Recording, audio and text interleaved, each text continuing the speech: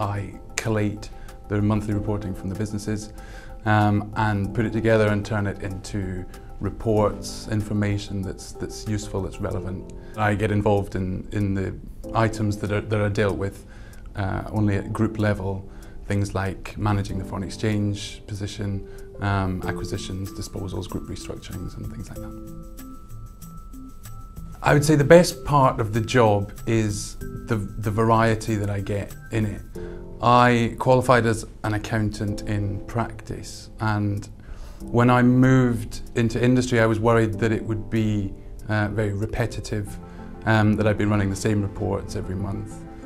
But Oxford Instruments is such a company, it's such a big organisation um, that, that really every month is different, there's always something new happening um, new challenges to face, and, uh, uh, and that, that keeps it really fresh, really interesting. Since I've been at Oxford Instruments, the people have been incredibly friendly.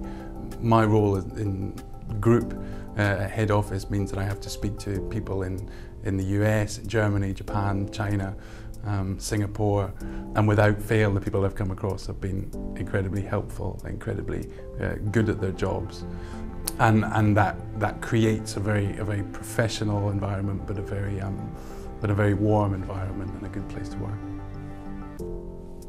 Oxford Instruments is a very large organisation, but it's also a growing organisation. It has very ambitious plans for the future. Um, it's a global company, it's very diverse, and a very exciting place to work in the future. And, and I get that feeling when I go uh, and visit the, the, businesses around the group. Um, everyone has enormous pride in what they're doing and is very excited about, about the future. And so I think anyone considering a career at Oxford Instruments would be making a very good choice.